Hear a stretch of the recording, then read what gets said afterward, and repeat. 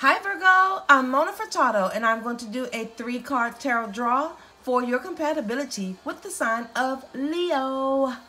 Let's go. I already shuffled the cards in advance so we can save us some time, okay? Let's see what the universe is going to reveal. How does Virgo view the relationship with the Leo? Virgo views this relationship as the Hermit card. With the Hermit card, they view the relationship as they need to take time to investigate this relationship or to work on your relationship with their self. It shows a time of being single. That's for you, Virgo. All right, let's see. How does Leo view the relationship with the Virgo? Leo views the relationship with the Virgo as the Hierophant in reverse. They view it as someone is more interested in furthering their ambitions than supporting them in theirs. They feel they need to seek their own path than stay with the plan that doesn't suit their needs.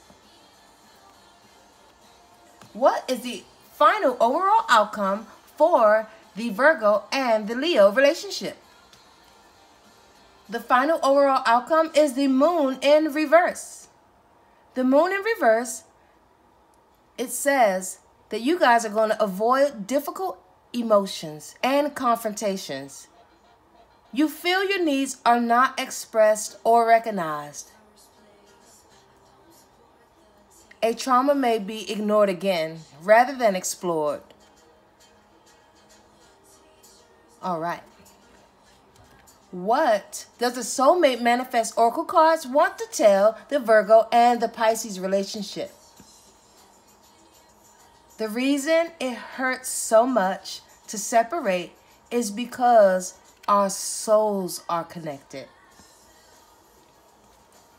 All right, and that is it for the sign of Virgo and Leo. Check back on my channel to see if you see other compatibility signs that you may like. And my name is Mona Furtado. I'm signing out. Bye.